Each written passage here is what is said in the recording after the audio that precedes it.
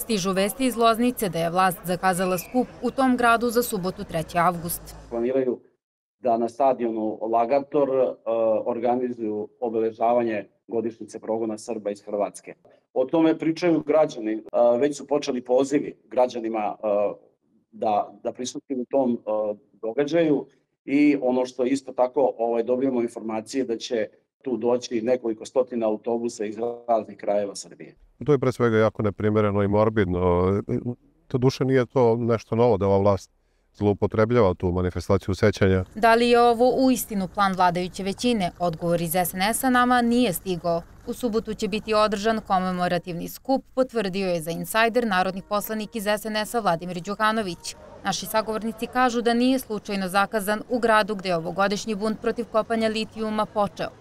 S obzirom na način na koji se vrši propaganda i pritisak na građane Jadra, smatramo da je to usko povezano sa tim, jer prosto nije se znalo to pre 3, 4, 5 meseci da će ovde biti obeležavanje, jer u normalnim zemljama tak, takav događaj se planira godinu dana unapred.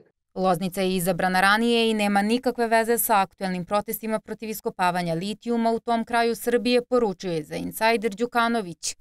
Zašto bismo uopšte mešali jednu takvu katastrofu koja se dogodila prema našem narodu, sa bilo čim što ima veze sa politizacijom, sa Rio Tintom ili rudarenjem litijuma? To su notorne gluposti i budalaštine.